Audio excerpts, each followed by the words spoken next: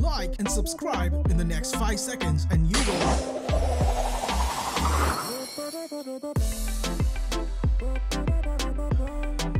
Yo, what's up everyone? It's your Radical back at you with another Brawl Stars episode. Hope you guys are safe and doing great.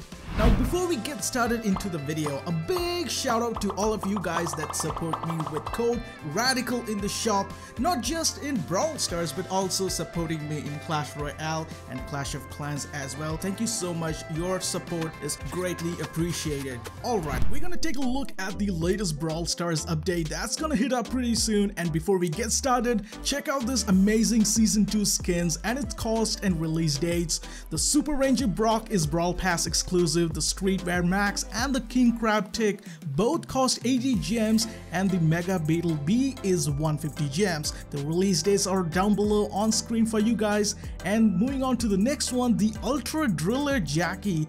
Oh my goodness, look at this. It costs 150 gems. The Mecha Paladin Surge is a max reward in Brawl Pass exclusive and that unlocks at tier 70.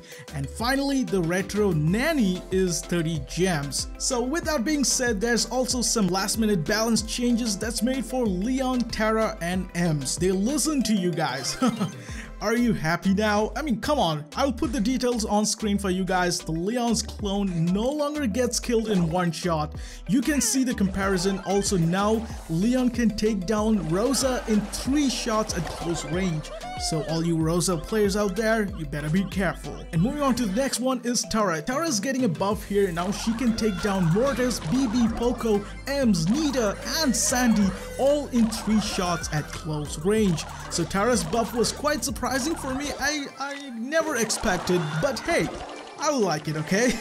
and finally, Emz is getting a nerf here. Reducing the health, also her gadget's range has been decreased to much smaller radius now. And now, instead of two, you can use three gadgets for Emz. I mean, it's not a big deal, but still, it works. So, what do you guys think? Let me know in the comments down below. And now, let's jump into some Rampage gameplay. Now, this is quite similar to the boss battle. Instead of the big giant bot, we got a Godzilla with tiny robotic hands this time. I mean, that's true. And our mission is to kill the Godzilla before he destroys the buildings. And the gameplay kind of looks quite hard here because I'm playing with the bots, obviously. So most of the time, uh, they don't attack. So I have to do all the work here myself. I get to win a couple couple here. So keep an eye on that. And also this Godzilla turns into a raging monster. Trust me guys, just like the boss battle where he just goes into an insane mode like Rampage and Insane mode, that's the same thing works for this guy here.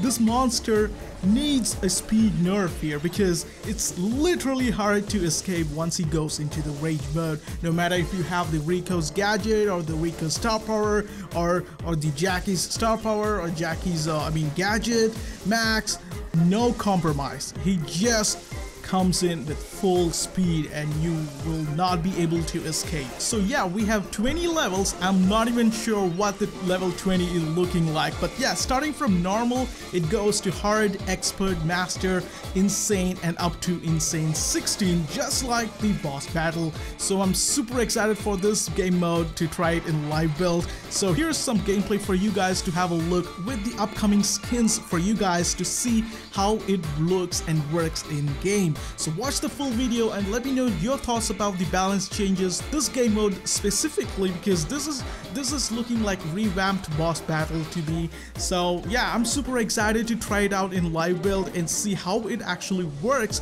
with real teammates. So yeah, I cannot wait to try this out. Let me know guys what do you think. Post them down below in the comments and I'll be rating each and every of it. So yeah, I'll be behind and watching the gameplay with you guys.